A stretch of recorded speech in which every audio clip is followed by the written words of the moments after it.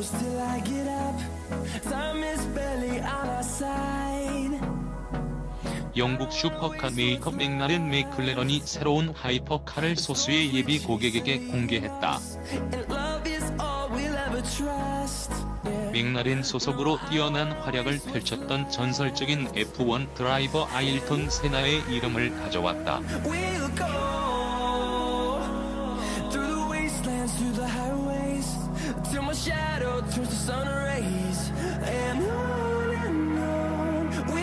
세나는 P1의 후계자이는 BP23이 적임자다가 아니라 새로운 Ultimate 시리즈 Ultimate 시리즈다.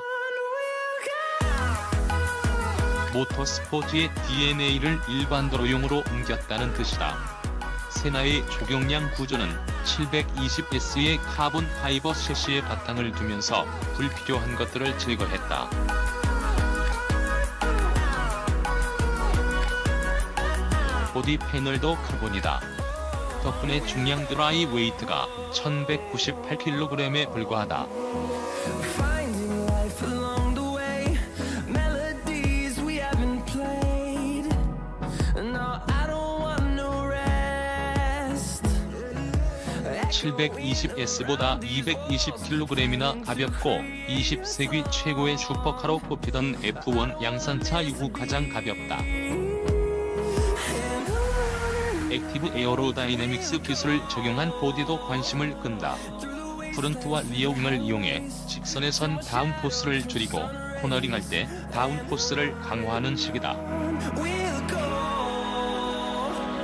through the wastelands, through the highways. 댐퍼 당 두 개의 밸브를 지닌 형태로 압축과 인장의 감쇄력을 각각 제어한다.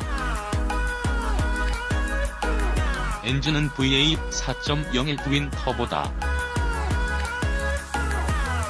최고 출력 800마력을 내고 7단 dual 클러치 변속기와 짝을 이룬다. 800NM의 토크는 뒷바퀴에 모두 집중된다.